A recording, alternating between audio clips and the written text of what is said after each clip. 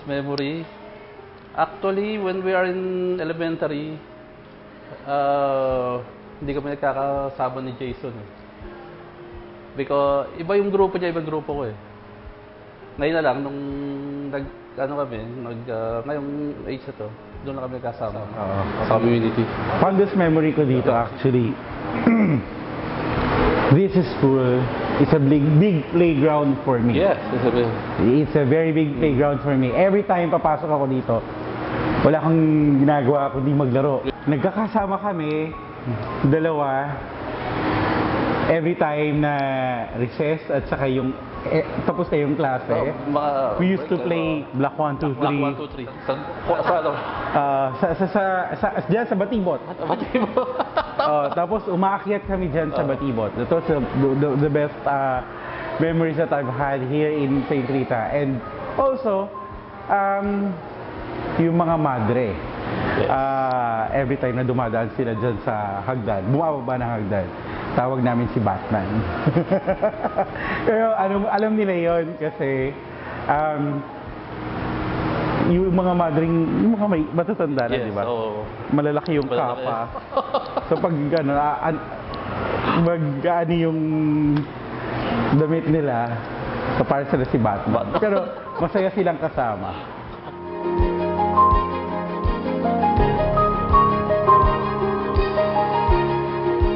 Well, ah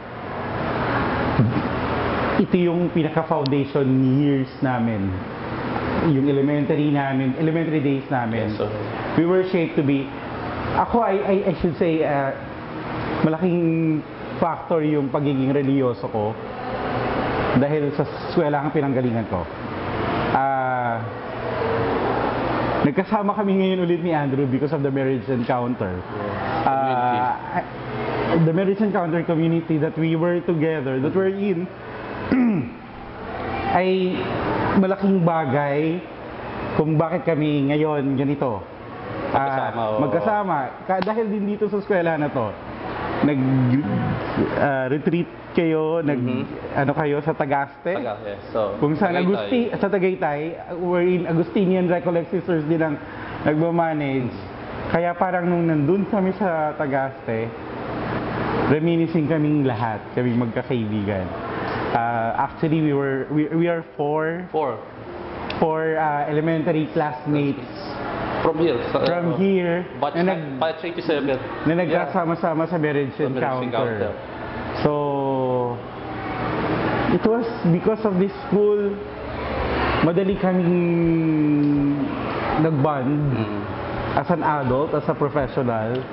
And um, dala-dala namin yung values na tinuro sa amin dito.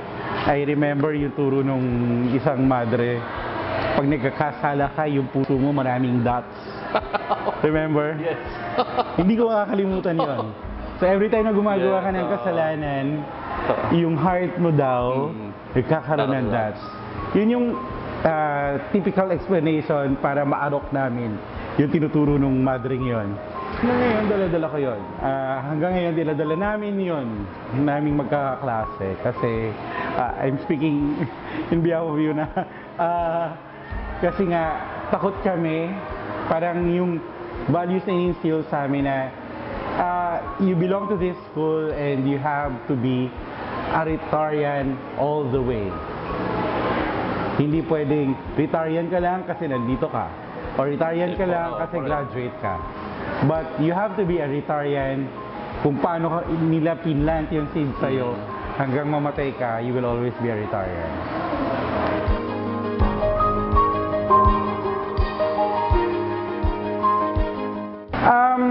Enjoy being here in this Yes. school. Uh, learn everything kung ano yung tinuturo ng mga madre at ng mga teachers. Um, yung values, kung paano kayo sinishape dito, madadala niyo yan kapag professionals na kayo. Like us. Like us, Yeah. yeah. Na hindi kayo mapapahiya kasi galing kayo dito sa school na to. Safe rate